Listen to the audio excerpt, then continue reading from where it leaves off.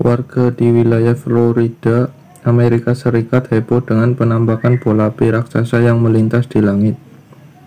Warga banyak melaporkannya di media sosial, bahkan juga ratusan laporan datang ke Lembaga Nasional Weather Service and American Meteor Society. Tampak dalam berbagai video yang viral, bola api itu terlihat menghujam ke arah bumi dalam kecepatan tinggi dan seakan meletus. Sebagai netizen yang melaporkan, mendengar juga suara seperti ledakan yang mengiringi kemunculan bola api tersebut.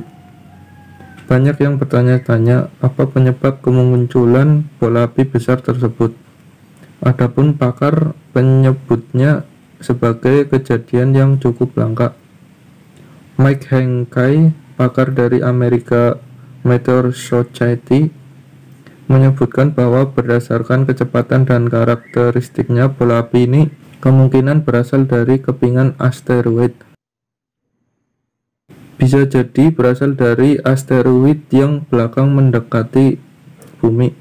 Kepingan asteroid itu kemudian ambiar saat melalui atmosfer bumi sehingga terciptalah bola api itu.